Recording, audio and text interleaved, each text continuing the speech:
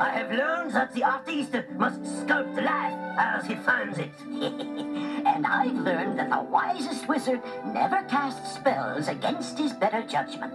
And now, the moment you have all been waiting for. Ah. Why, Painter, it's as stunning as the real me. You've created a symphony in stone.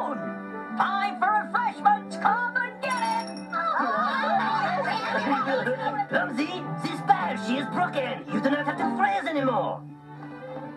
Oh, gosh, I guess you're right, Painter.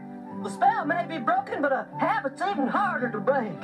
Fell Tower, it is definitely a case of life imitating art.